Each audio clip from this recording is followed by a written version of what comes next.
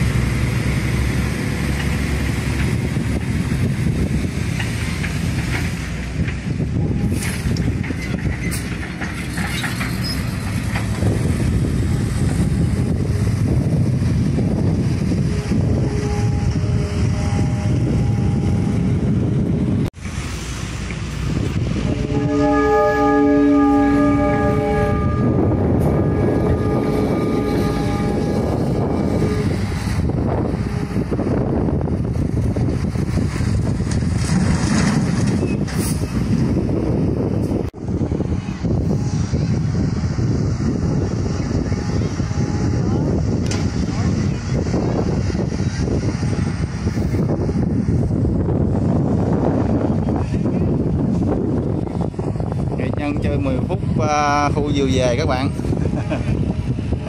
Cứ vừa về rồi.